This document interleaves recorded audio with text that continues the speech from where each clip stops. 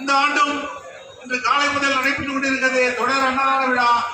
இரவு ஒன்பது இரவு பதினோரு மணி வரை நடைபெறும். அன்னதான விழாவில் ஐயப்பெருமாள் அனைவரும் கலந்து கொண்டு அன்னதானத்தை உண்டு கழித்து ஐயனின் அருளை பெருமாறு அன்போடு கேட்டுக்கொள்கிறோம்.